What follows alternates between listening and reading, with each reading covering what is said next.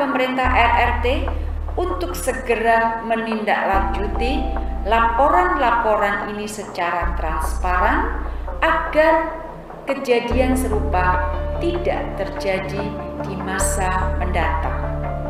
Secara khusus, saya meminta agar pemerintah RRT melakukan investigasi secara menyeluruh dan dilanjutkan dengan penegakan hukum atas beberapa kasus kematian, pelarungan jenazah, dan kondisi kerja yang tidak layak.